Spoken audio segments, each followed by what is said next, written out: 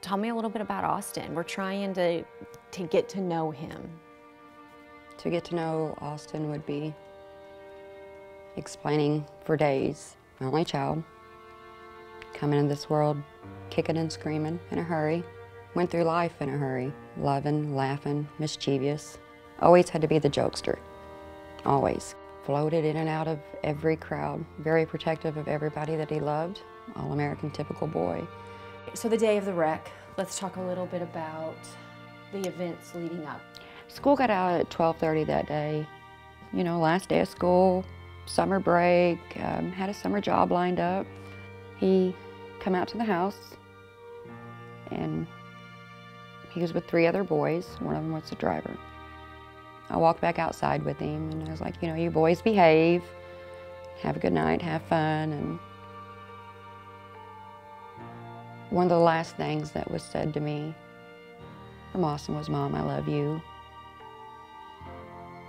The other boys I didn't know really well. Ethan, the last words out of his mouth was, nothing's gonna happen to your boy on my watch. What do you remember about the wreck? We passed on a no passing zone. We passed our friends. And when we passed, he like overcorrected twice. And um, that's when we were started to roll. Uh, right about where we are here now is where the uh, vehicle came to rest after uh, coming around the curve at a high rate of speed. I would say it was running between 80 and 85 miles per hour, roughly. I remember like the sounds of everything, like it was just, it was crazy. And uh, I blacked out going out the window, and then whenever I was laying on the ground, it, it felt like it was all quiet at first for a little bit, and then like you could hear her like way in the background, like making noises. Uh, the vehicle was here on its side. Uh, there were several items strode across the road, uh, tools. There was an ice chest laying on the side of the road up there. Uh, there were beer cans all over the place, as well as uh, four other individuals needing immediate medical attention. Austin was approximately 65 feet from where the truck came to rest at to where his body came to rest.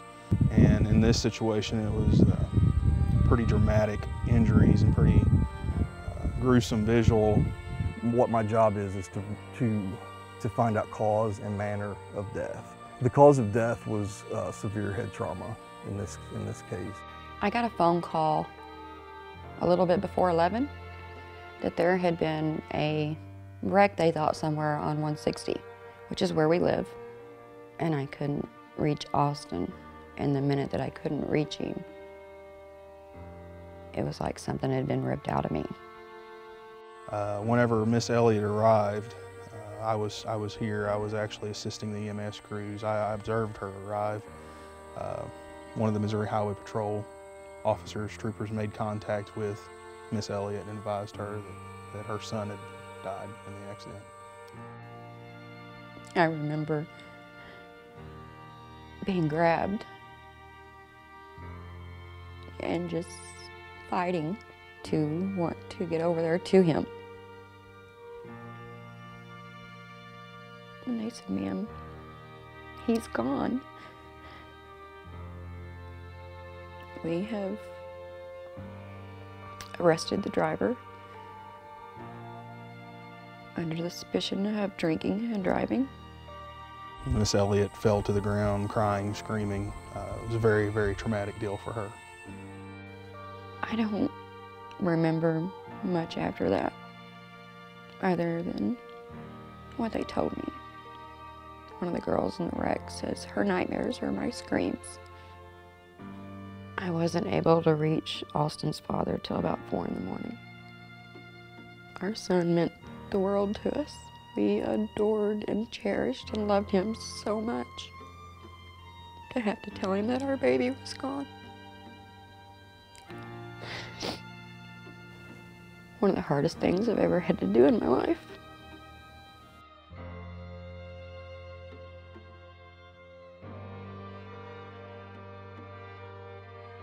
You um, mentioned as we were walking that there were beer cans all over. Was it pretty evident when you first got here that alcohol probably played a role in this accident? Yes, ma'am.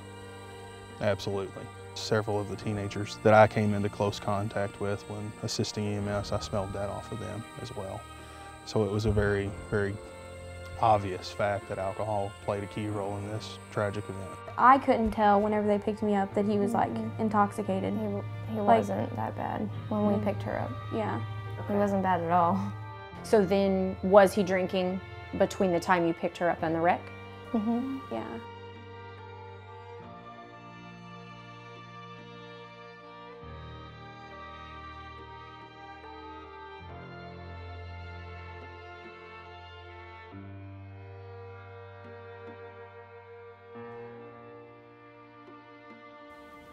The days immediately following, what do you remember about that time?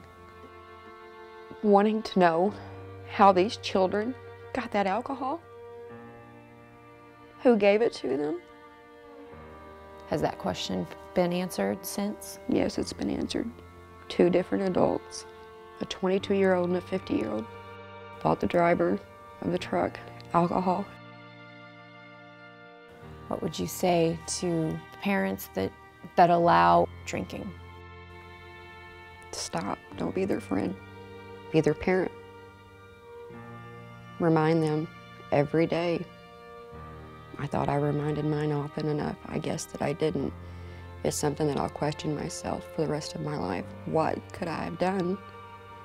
What did I not do as a parent for him to get into a vehicle with a friend knowing that he had been drinking? Our life revolves around them, wondering what they're going to become, helping them, molding them, teaching them. I'll never get to see him graduate high school, fall in love, get married, have grandchildren. I'll never get to see any of that. So now I have to learn to relive life in a way that I never thought that I would have to. I never want another parent to ever experience what I have. Stop. Don't be their friend. Be their parent. Because you could be me.